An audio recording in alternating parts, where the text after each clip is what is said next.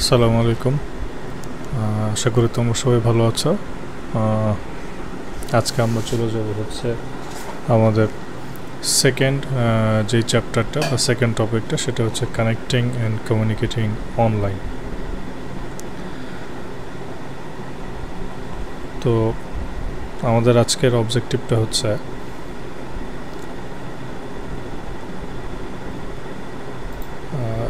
একটু দেখি সো আজকের অবজেক্টিভটা হচ্ছে যে discuss the evaluation of the internet means ইন্টারনেটটা কীভাবে আসছে তার ইভ্যালুয়েশনটা আমরা এখানে ডিসকাস করব। সেকেন্ডলি দেখব হচ্ছে যে বিভিন্ন যে ব্রডব্যান্ড ইন্টারনেট কানেকশন আছে, সেগুলার ব্রিফ ডেসক্রিপশন দেখব। এরপরে দেখব হচ্ছে যে আইপি অ্যাড্রেস কী কাজে আমরা ইউজ করে থাকি এবং ডোমেন নেমের সাথে সম্পর্ক কী। দেন বিভিন্ন ব্রাউজারের ফিচারগুলো দেখব এবং ওয়েব অ্যাড্রেসের কম্পোনেন্টগুলো সম্বন্ধে জানব। এরপরে জানব হচ্ছে আমরা কীভাবে সার্চ করতে হয় ইফেক্টিভ টেক্সট দিয়ে সেগুলো আমরা জানব। দেন আমরা অনলাইন সোশ্যাল নেটওয়ার্ক ইউজ করার সুবিধা কী এবং তার রিস্কগুলো কী কী? এগুলো সম্বন্ধে জানব। ভ্যারিয়াস টাইপস অফ ওয়েবসাইট এবং তার ইউজ সম্বন্ধে জানব। কীভাবে graphics animation audio video and virtual reality বা ভিআর এগুলো ওয়েবে ইউজ করা হয়, সেগুলো দেখব। দেন এরপরে জানব হচ্ছে email instant messaging chat room VoIP FTP এগুলো সম্বন্ধে জানব এবং ফাইনালি আমরা কিছু রুলস এবং এটিকেট সম্বন্ধে জানব। ইন্টারনেট ইউজ করার এই হচ্ছে আমাদের চ্যাপ্টারের অবজেক্টিভ বা ওভারভিউ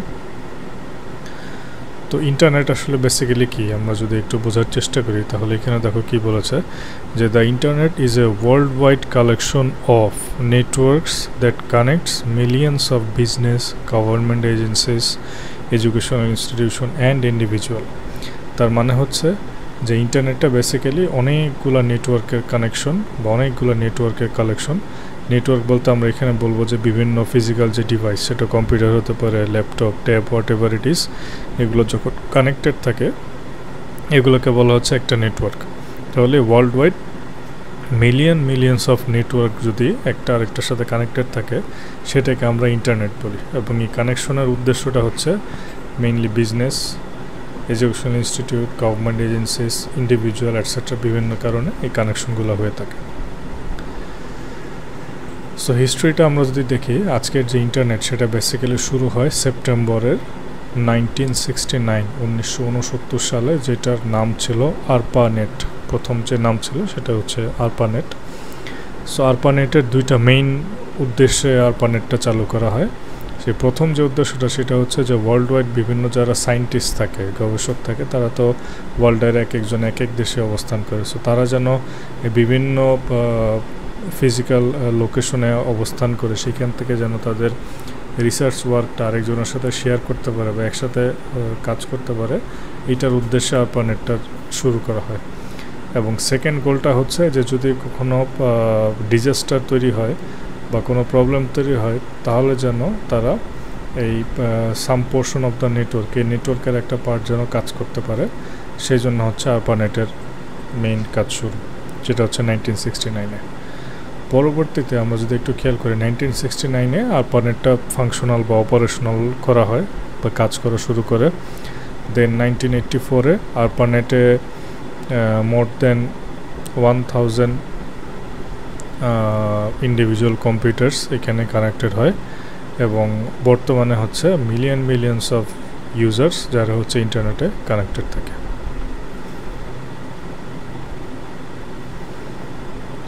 সো এই ইন্টারনেট কানেকশনটা বেসিক্যালি দুইভাবে হয়ে থাকে। একটা ওয়্যার দিয়ে হতে পারে, আর একটা ওয়্যার ছাড়াও হতে পারে। সো ওয়্যারে যেটা হয় কম্পিউটার অথবা যে কোনো ডিভাইস তারা ফিজিক্যালি একটা কেবলের মাধ্যমে বা কমিউনিকেটিং ডিভাইসের সাথে কানেক্টেড থাকে। আর ওয়্যারলেসে হচ্ছে যে যে ডিভাইসটা থাকে কমিউনিকেটিং ডিভাইসটার সাথে কম্পিউটার একটা ওয়্যারলেস মডেম অথবা অন্য কোনো ওয়্যারলেস কানেক্টিভিটির মাধ্যমে কানেক্টেড থাকে। সো এখানে আমরা যদি একটু খেয়াল করি, তো এটা হচ্ছে একটা ডেস্কটপ কম্পিউটার যেটা হচ্ছে একটা মডেমের সাথে ওয়্যার দিয়ে কানেক্টেড এটা হচ্ছে ওয়্যার কানেকশন এবং এই মডেমটা ইন্টারনেটের সাথে কানেক্টেড তাহলে এই কানেকশনটা হচ্ছে ওয়্যার বাট এই ল্যাপটপটা একটা ওয়্যারলেস মডেমের মাধ্যমে হচ্ছে ইন্টারনেটের সাথে কানেক্টেড এবং এই ডেস্কটপটা ইচ্ছা করলে ল্যাপটপের সাথে কমিউনিকেট করতে পারে। তাহলে এইখানে ডেস্কটপের সাথে মডেমের যে কানেকশনটা সেটা হচ্ছে ওয়্যার কানেকশন এবং ল্যাপটপের সাথে মডেম দিয়ে হচ্ছে বা এই ওয়্যারলেস মডেম দিয়ে যে ইন্টারনেট ইউজ করছে, এই কানেকশনটা হচ্ছে ওয়্যারলেস কানেকশন সো ওয়্যার এবং ওয়্যারলেসের মধ্যে যদি একটু বেসিক বা ছোট্ট পার্থক্য দেখি পার্থক্য ঠিক কী কী টেকনোলজি ইউজ করা হয় সেটা আমরা এখানে দেখছি। ওয়্যারে বেসিক্যালি কেবল ইন্টারনেট সার্ভিস বাসায় যে আমাদেরকে হোয়াইট কালারের কেবল দিয়ে যেটাকে আমরা বলি ক্যাট ফাইভ কেবল দিয়ে কানেকশন দিয়ে যায়, সেটা হচ্ছে cable internet service second point হচ্ছে ডিএসএল বা এটার নাম হচ্ছে digital subscriber line DSL modem বলে আমরা, যেটা আমরা ছোটোবেলায় ইউজ করেছি টেলিফোন লাইন দিয়ে হচ্ছে মডেম দিয়ে ইন্টারনেট ইউজ করা। আর থার্ড যেটা, সেটা হচ্ছে এফটিটিপি যেটা হচ্ছে fibre to the premises that means হচ্ছে বাসায় সরাসরি অপটিক্যাল ফাইবার কানেকশন নিয়ে আসা এবং একটা এমসি বা মিডিয়া কনভার্টার দিয়ে হচ্ছে ইন্টারনেটটা পরবর্তীতে কনভার্ট করে ইউজ করা। সো এটাই হচ্ছে ওয়্যারের টেকনোলজি ওয়্যারলেসের ক্ষেত্রে সাধারণত আমরা ইউজ করে থাকি ওয়াইফাই বা ওয়্যারলেস ফিডেলিটি যেটাকে আমরা বলি হচ্ছে ওয়্যারলেস ফিডেলিটি বা WiFi then mobile broadband use করে থাকি। দেন ফিক্সড ওয়্যারলেস ওয়াইফাই হচ্ছে আমরা বাসায় যেটা ইউজ করে থাকি। মোবাইল ব্রডব্যান্ড হচ্ছে মোবাইলের যে ডাটা কানেক্টিভিটি সেটাও হচ্ছে ওয়্যারলেস ফিক্সড ওয়্যারলেস বলতে আমরা এখানে মূলত বোঝাচ্ছি যে পাবলিক হটস্পট অথবা ওয়াইম্যাক্স যেটা আগে ছিল, সেটার কথা। আর লাস্ট হচ্ছে স্যাটেলাইট ইন্টারনেট সার্ভিস বা যেটাকে বলা হচ্ছে ভিস্যাট সরাসরি স্যাটেলাইটের মাধ্যমে হচ্ছে কমিউনিকেশনটা হয়ে থাকে। সাধারণত এটা রিমোট এরিয়াতে দেখবে যে খুব গ্রাম দেশে অনেক সময় দেখা যায় ডিবিবিএলের রিমোট এরিয়াতে ডিবিবিএলের বুথ পাওয়া যায়। সো এই বুথের উপরে খেয়াল করে দেখবে ছোট্ট একটা অ্যান্টেনা বসানো থাকে। সো অ্যান্টেনার মাধ্যমে এটা স্যাটেলাইট কানেকশন দিয়ে বা রেডিও কানেকশন দিয়ে হচ্ছে এগুলো অপারেশন হয় বা ফাংশনাল হয়ে থাকে। নেক্সট যে টার্মটা আমরা জানব সেটা হচ্ছে হটস্পট আমরা সবাই এটার নাম জানি। মোটামুটি আমাদের মোবাইলেও আমরা ক্রিয়েট করে পার্সোনালি ইউজ করতে পারি। বাট আসলে হটস্পট বিষয়টা কি?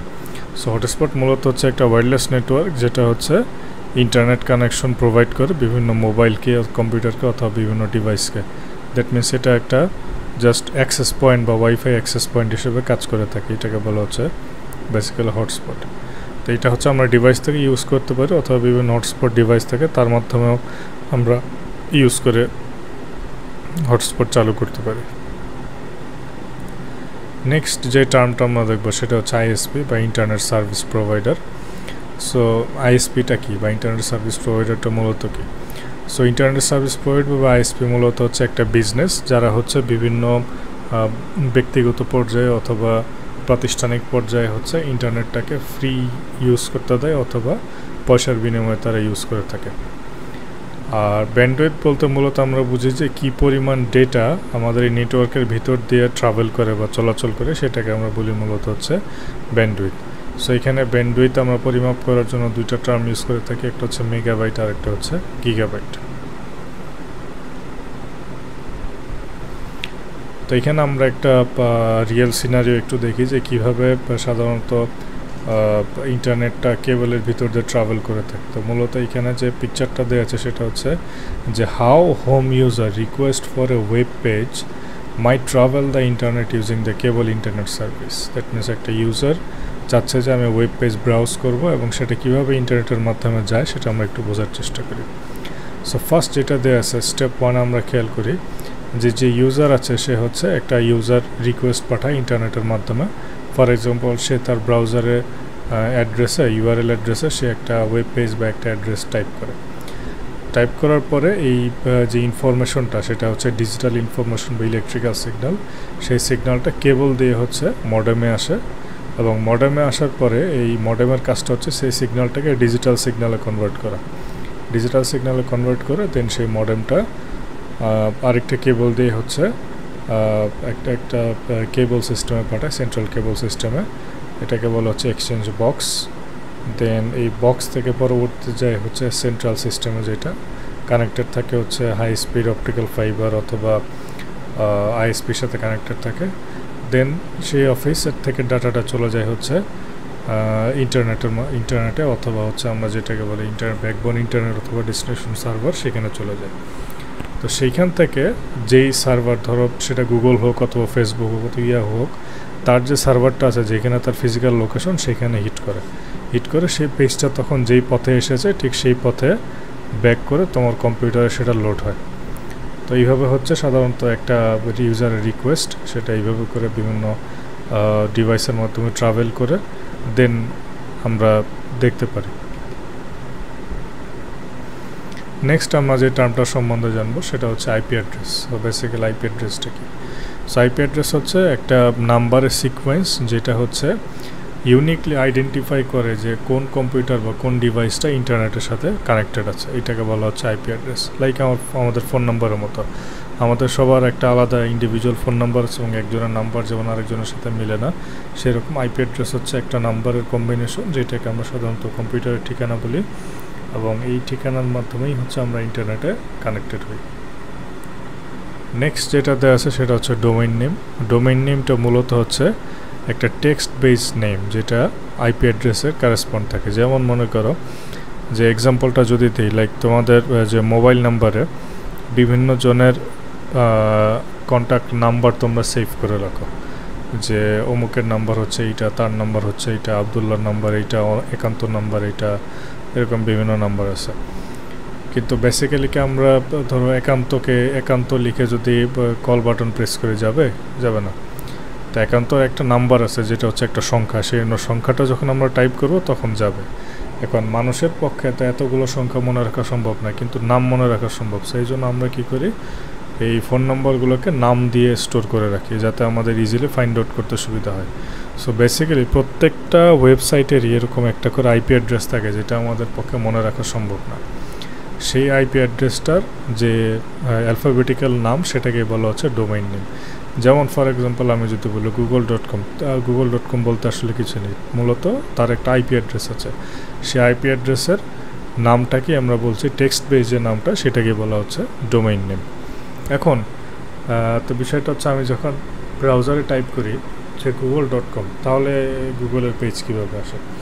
এটা একটা কোয়েশ্চেন সেই কোয়েশ্চেনটা হচ্ছে, একটা সার্ভার থাকে যে হচ্ছে এই সার্ভিসটা দেয়, সেই সার্ভারটার নাম হচ্ছে ডিএনএস সার্ভার বা ডোমেইন নেম সার্ভার বলা হয়। যার কাজ হচ্ছে এই ডোমেইন নামটাকে তার আইপি অ্যাড্রেসে কনভার্ট করে। লাইক আমাদের ফোন বুকের মতো। আমরা ধরো একান্তকে কল দিতে গেলে আমি আমার ইয়ে থেকে ফোন বুক থেকে আগে একান্তর নাম বের করি তার নামের নিচেই ফোন নাম্বারটা লেখা থাকে। তখন আমরা সেই ফোন নাম্বারটায় চাপ দিই। আমরা কিন্তু একান্তর নামে চাপ দিই না। আমরা প্রেস করি হচ্ছে ফোন নাম্বারটা তখন হচ্ছে কলটা জেনারেট হয়। ঠিক একইভাবে আমরা যখন আমাদের ব্রাউজারে কোনো অ্যাড্রেস লিখি গুগল ডট কম সে তখন প্রথমে আসে হচ্ছে ডিএনএস সার্ভারে ডিএনএস সার্ভার থেকে আইপিটা নেয়। আইপিটা নিয়ে তখন সেই সার্ভারে সরাসরি সেন্ড করে দেয়। সো এখানে নিচে দেখো এক্সাম্পল দেওয়া আছে। এটা হচ্ছে আইপি ভার্সন ফোর আর এটা হচ্ছে আইপি ভার্সন সিক্স সো দুইটার মধ্যে একটা বেসিক ডিফারেন্স কি? আইপি ভার্সন ফোর যেটা, সেটা হচ্ছে বত্রিশ বিট আর আইপি ভার্সন সিক্স হচ্ছে একশো আঠাইশ বিট এবং এটা হচ্ছে ডেসিমেল নাম্বার ফরম্যাট আর এটা হচ্ছে হেক্সা ডেসিমেল নাম্বার ফরম্যাট আর এটা হচ্ছে ডোমেন নেমের এক্সাম্পল যে গুগল ডট কম যেখানে. ডট কমটাকে আমরা বলছি হচ্ছে টপ লেভেল ডোমেন বা এটার আরেকটা নাম হচ্ছে টিএলডি আমরা একটু পরে এটা সম্বন্ধে ডিটেলস জানব। তো এই হচ্ছে TLD that means top level domain এই টপ লেভেল ডোমেন দিয়ে আমরা কি বুঝি বেসিক্যালি এই যে আমরা বিভিন্ন ওয়েবসাইটে দেখি যে. ডট কম এই কথাটার মানেটা হচ্ছে যে. ডট কম দিয়ে যেই সব কোম্পানি আছে, তারা মূলত হচ্ছে কমার্শিয়াল অর্গানাইজেশন তারা হচ্ছে বিজনেস এবং তারা হচ্ছে কোম্পানি সো কম দিয়ে হচ্ছে সেটা বোঝায়। আর কিছু কিছু ওয়েবসাইটের লাস্টে যেমন থাকবে হচ্ছে ডট ইডিইউ দ্যাট মিনস এরা হচ্ছে এডুকেশনাল ইনস্টিটিউশন এদের জন্য রাখা হচ্ছে ইডিইউ তারপরে দেয়া আছে ডট গভ দ্যাট মিনস এরা হচ্ছে government agency dot mil military agency dot net যারা, তারা হচ্ছে নেটওয়ার্ক প্রোভাইডার অথবা commercial companies commercial internet provider বা কমার্শিয়াল কোম্পানিজ আর ডট অর্গ যেটা ও আর জি সেটা হচ্ছে নন প্রফিট অর্গানাইজেশন তাদের ওয়েবসাইটের শেষে থাকে ডট অর্গ তাহলে এখানে অনেকগুলো টিএলডি আছে dot com dot edu dot gov dot mil dot net আর হচ্ছে ডট অর্গ সো আমরা যদি একটু দেখি, একটু আগে যেটা বললাম, সেটাই আমরা দেখি যে কীভাবে একটা ব্রাউজার ওয়েব পেজকে ডিসপ্লে করে। আমরা যদি দেখি, প্রথমে স্টেপ ওয়ান আমরা কী করি? ব্রাউজারের যে ওয়েব অ্যাড্রেসের জায়গাটা আছে, যেটাকে আমরা বলি অ্যাড্রেস বার সেখানে আমরা তার ডোমাইন নেমটা লিখি। যে W W dot Google dot com অথবা শুধু গুগল ডট কম লিখে আমরা এন্টার প্রেস করি। এন্টার প্রেস করলে কী হয়? এখানে আমার স্টেপ টুতে এটা হচ্ছে আমার ডিএনএস সার্ভার তখন এই ব্রাউজারটা কী করে? ডিএনএস সার্ভারের যেটা আছে, সেটা প্রত্যেকটা আইএসপির একটা করে থাকে। বড় বড় আইএসপি নিজস্ব ডিএনএস সার্ভার থাকে অথবা ইয়াহুরটাও থাকে। সেই সার্ভারটাতে হচ্ছে তারা যোগাযোগ করে, এই ব্রাউজারটা এই সার্ভারের সাথে কমিউনিকেট করে। কমিউনিকেট করলে ডিএনএস সার্ভার তখন তার ডেটাবেসে চেক করে দেখে যে, যেই ডোমাইনটা সে লিখেছে, সেই ডোমাইনের আইপি অ্যাড্রেসটা কত। সেই আইপি অ্যাড্রেসটা সে খুঁজে বের করে। খুঁজে বের করে তখন সে আইপি অ্যাড্রেসটা তার কম্পিউটারে পাঠায়। সো তখন কম্পিউটার কী করে, এই যে আইপি অ্যাড্রেসটা যেটা ডিএনএস যেটা পাঠালো, সে তখন এই আইপি অ্যাড্রেসে সে তখন সরাসরি রিডিরেক্ট করে বা ব্রাউজার তখন কি করে? সেই আইপি অ্যাড্রেস অনুযায়ী সেই সার্ভারের সাথে কন্ট্যাক্ট করে। কন্ট্যাক্ট করে সেই সার্ভারের যে রিকোয়েস্টের যে ওয়েব পেজটা থাকে, সেই ওয়েব পেজটা তখন ব্রাউজারে লোড হয়।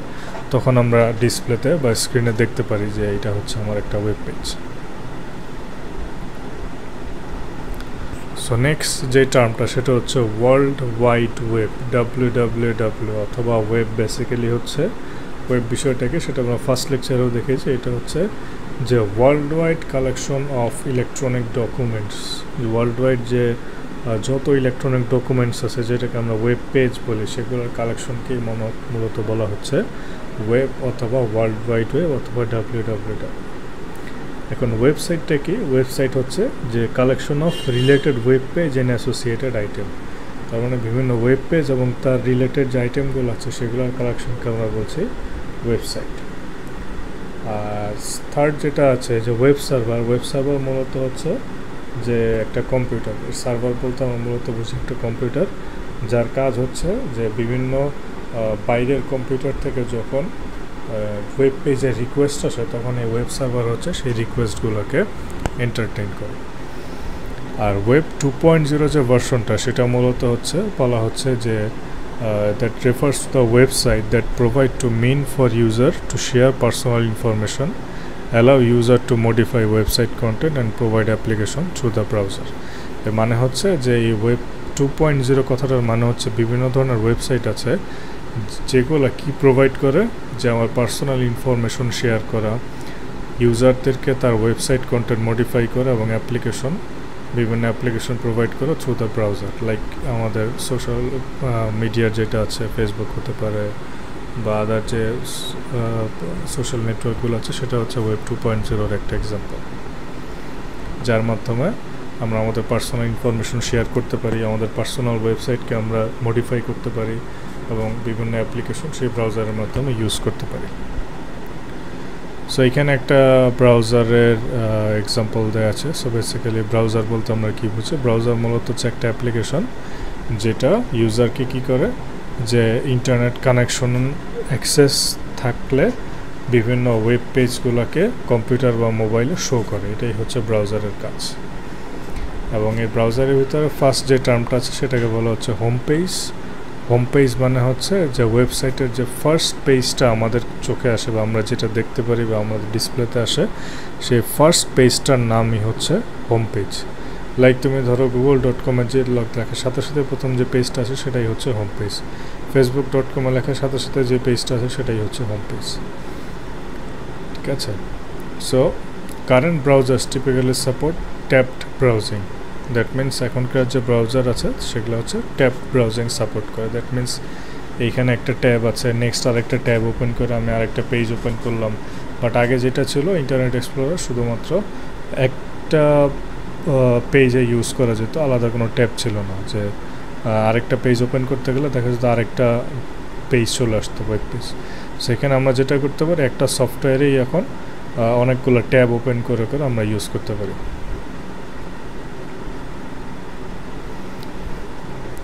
সো নেক্সট যেটা যে প্রত্যেকটা ওয়েব পেজেরই একটা ইউনিক অ্যাড্রেস থাকে, যেটাকে আমরা বলি হচ্ছে ওয়েব অ্যাড্রেস এই অ্যাড্রেসটা হচ্ছে ইউনিক কারণ ঠিকানা কখনোই মানুষের ঠিকানা কখনো দুইটা মানুষের ঠিকানা সেম হয় না, সবার ঠিকানাই হচ্ছে আলাদা আলাদা। সেরকম প্রত্যেকটা ওয়েব পেজের ঠিকানা হচ্ছে আলাদা আলাদা, যেটাকে আমরা বলি ওয়েব পেজ অথবা ইউআরএল বলা হয়, যেটার ফুল মিনিংটা হচ্ছে ইউনিফর্ম রিসোর্স লোকেটর এই নিচে যে লেখাটা আছে NSPS dot gov history place HTML পুরোটাকেই আমরা বলব হচ্ছে ইউআরএল ইউনিফর্ম রিসোর্স লোকেটর এই ইউআরএলের অনেকগুলো পার্ট থাকে। প্রথম যে পার্টটা সেটাকে বলা হচ্ছে প্রোটোকল যে সে কোন প্রোটোকল ইউজ করছে। তারপরে হচ্ছে হোস্টিং নেম তারপরে তার হচ্ছে domain name then path then finally হচ্ছে ওয়েবসাইট নেম তাহলে একটা ইউআরএলের অনেকগুলো ভাগ থাকে। সে ভাগগুলো কী কী? Protocol host name domain name path then হচ্ছে web page name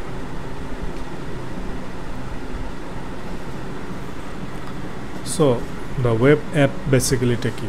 সেটা হচ্ছে যে ওয়েব অ্যাপ হচ্ছে এমন এক ধরনের অ্যাপ্লিকেশন যেটা ওয়েব সার্ভারে স্টোর করা থাকে এবং ব্রাউজারের মাধ্যমে আমরা সাধারণত সেই ওয়েব অ্যাপ্লিকেশন বা ওয়েব অ্যাপটাকে ইউজ করতে পারি। সেটা কীরকম? সো বেসিক্যালি ওয়েব অ্যাপ যেটা করে, সেটা হচ্ছে যে ইউজারের যে বিভিন্ন ডেটা থাকে বা ইনফরমেশন থাকে, সেগুলো স্টোরেজ করে থাকে তাদের সার্ভারে যেটাকে আমরা বলি হচ্ছে cloud storage that means web অ্যাপের মাধ্যমে আমরা আমাদের যাবতীয় যে ইনফরমেশনগুলো থাকে, সেগুলো আমরা বিভিন্ন সার্ভারে স্টোর করে রাখতে পারি, যেটাকে বলা হচ্ছে ক্লাউড স্টোরেজ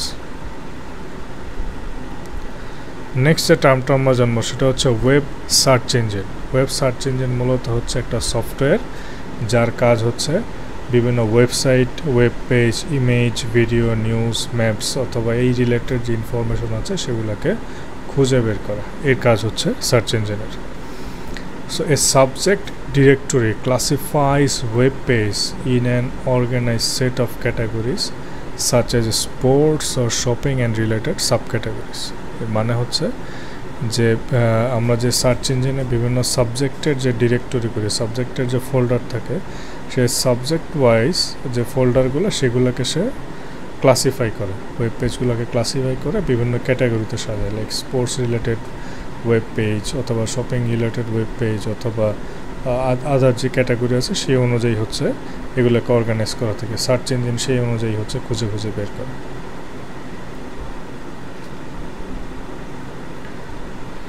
সো বিভিন্ন অপারেটর আমরা ইউজ করতে পারি সার্চ করার ক্ষেত্রে। এটা আশা করি আমাদের জন্য একটু নতুন। তারপর আমরা একটু জেনে নিই।